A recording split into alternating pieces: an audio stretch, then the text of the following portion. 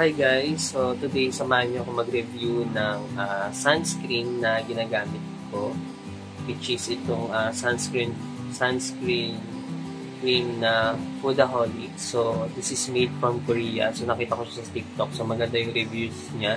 So tingnan natin kung uh, gaano ba siya kaganda especially sa mga oily skin na katulad ko.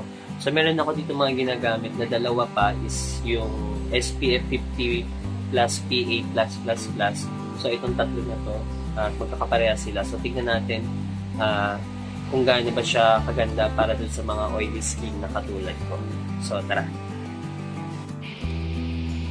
So, yun guys. Meron ako ditong uh, paper na pang oil test. So, ito yun. So, tignan natin kung gaano ba kadami yung oil test na gaano ba siya ka-oily. So, ito. Try natin. Yan, maglagay tayo dito. So, iwanan mo na, eh, pagkalagay natin, iwanan natin siya mamaya. Tingnan natin kung gaano siya ka-oil. Ayan. So, ayan yung oras niya. August 1 ngayon. Ayan, oil test natin. Ayan.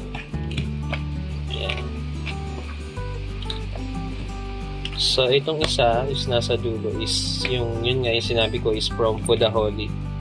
Then itong isa is yung uh, from Quick Fix yung ginagamit ko. Then ito is yung isang from Braille. Braille. Ayan. So, okay. Balikan natin siya later mamaya. Tingnan natin kung gaano siya good para dun sa mga oily skin or oily face na katulad ko. Okay? So, ayan.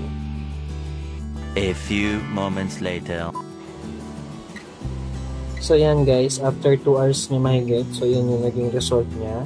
So itong una kong ginagamit is ayan, medyo may oil siya. And then ito light lang. Then itong kay kay Foodaholic, ayan. Uh, wala siyang masyadong oil. So check natin yung pagka-finish niya. And then tingnan natin kung ma-white cast siya. Dito, kasi ito meron siya. Ito white cast, medyo may ma-white cast siya once na in-apply Then ito naman, yun nga, medyo may, yun nga, parang oily din siya. So, i-try natin to. Check natin yung pagka-finish niya. So, ayan guys, try natin siya.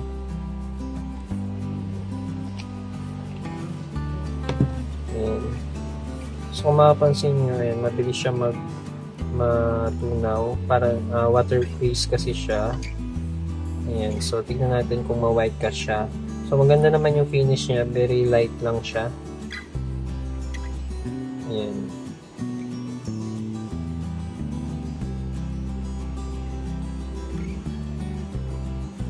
So, ayan.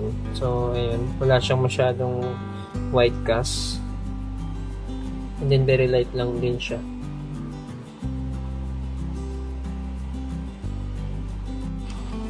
So, yun guys. So, try naman natin siyang i-apply sa face. Yan. So, kung mapapansin nyo is hindi siya, mapipil mo siya na non-greasy siya and then very lightweight lang siya. Then, uh, nakaka-moisturizing din siya ng mukha.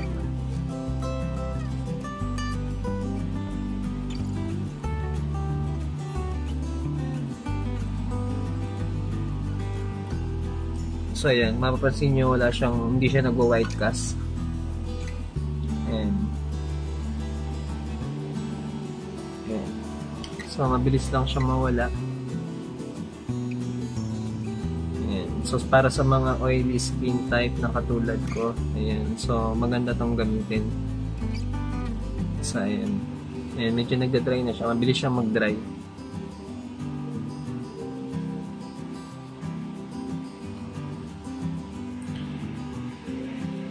So, yun lang guys.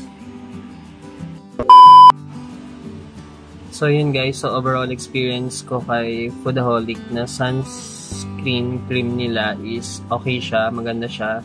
And very very mag, uh, maganda siya sa mga oily skin na katulad ko. And at the same time is uh, nakaka-lighten din siya yung mga dark spot. So, katulad nito yun sa akin. So, medyo nag-lighten yung dark spot ko dito.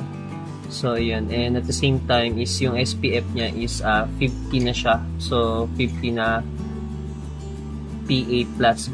So, maganda siya kapag uh, lalabas kayo sa araw. So, yun lang guys. So, try nyo na din to. So, yun. Thank you for watching.